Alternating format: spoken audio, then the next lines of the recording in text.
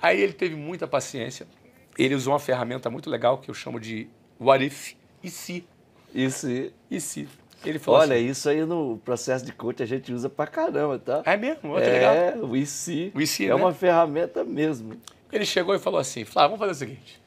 O presidente na época era o Fernando Henrique, né? Vamos supor, Flávio, e se o Fernando Henrique baixa uma lei e fala assim, ó, curso de inglês é proibido ter mais de 10 funcionários. Só pode 10. Só pode 10 no máximo. Sabe o que ia acontecer? Você ia quebrar, você ia falir.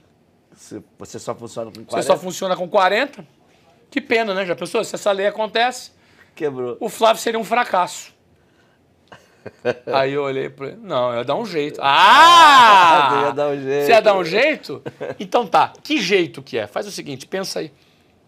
Se fosse proibido, se ia quebrar, você ia dar um jeito. Eu falei, ah, deixa eu pensar. Aí eu me abri, Zé. O mundo das possibilidades. Aí eu me abri. Aí fui no final de semana pensar, voltei segunda toda animada, Alain. Ó, consegui baixar para dois, três departamentos. Dez não consegui não, mas doze eu consegui. Doze eu acredito. 12 pessoas. Do- Ele falou, cara, 12 tá ótimo, Flávio. 12 tá ótimo. Ó, 12 eu consegui com esse modelo.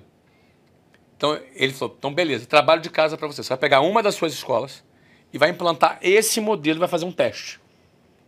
Aí eu peguei uma escola do Rio Sul, que ficava lá no Rio Sul, no Shopping Rio Sul, e a gente estava lá, implantou esse modelo. E deu tão certo quanto o outro. Zé. Não foi nem melhor nem pior. Deu tão certo quanto.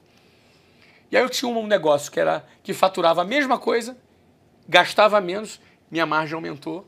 Eu fiquei super empolgado, E mais escalável. mais escalável. Implantei em todas as minhas escolas próprias e formatamos, chegando, chegamos no modelo da franquia que a gente formatou, replicou e levou a mais de 400 franquias. Mas o ponto é o seguinte, O aprendizado. para chegar naquilo, eu tive que deixar de ser cabeça dura, porque o empreendedor, quando ele está dando certo, ele é tão convicto que às vezes vira cabeça dura, e essa convicção, ele é antídoto e veneno. Ao mesmo tempo. Antídoto por quê? Porque ele é convicto, ele consegue ter sucesso, e veneno porque porque ele é convicto, às vezes ele fica com a cabeça dura e não evolui. Cego, né? É. Então, primeiro, ele desarmou a minha cabeça dura me fazendo um exercício do IC. Então, eu convido a todo mundo que está em casa a fazer esse exercício do IC. Esse... E se fosse de outro jeito? E se fosse de outra maneira? Não é? E terceiro, que a gente executou, tocou ficha e expandiu bastante. Então, foi- fica um aprendizado muito legal. Foi um bom enfrentamento do seu Opa! amigo, né? Excelente. Só um amigo faz isso, né? Só amigo Pega faz um, isso. ca- um cabeça dura lá, ó, cara, para com isso aí, pô. O que você faz assim? Imagina.